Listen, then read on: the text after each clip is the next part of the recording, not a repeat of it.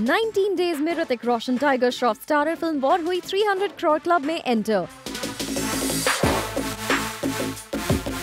इस फ़िल्म ने बॉक्स ऑफ़िस पर तोड़े हैं कई बड़े रिकॉर्ड्स और इस कलेक्शन के साथ ये फ़िल्म बन गई है 2019 की सबसे सक्सेसफुल फ़िल्म ऋतिक रोशन टाइगर श्रॉफ स्टारर वॉर के बाद अब तक प्रियंका चोपड़ा फरहान अख्तर स्टारर फ़िल्म द स्काई इज़ पिंक और सैफ अली खान की फ़िल्म लाल कप्तान रिलीज़ हो चुकी हैं। लेकिन ये दोनों ही फिल्म्स वॉर से टक्कर नहीं ले पा रही और इसका फ़ायदा इस फ़िल्म को ज़बरदस्त तरह से हुआ है। ट्रेड सोर्सेज का कहना है कि इस फ़िल्म को अब तक जिस तरह का रिस्पांस मिला है, दिवाली वीकेंड पर भी लोग इस फ़िल्म को देखने जा सकते हैं। ऐसे में दिवाली पर रिलीज़ हो रही फ़िल्में मेड इन चाइना सांड की आँख और हाउसफुल फोर को ये फ़िल्म टक्कर दे सकती है।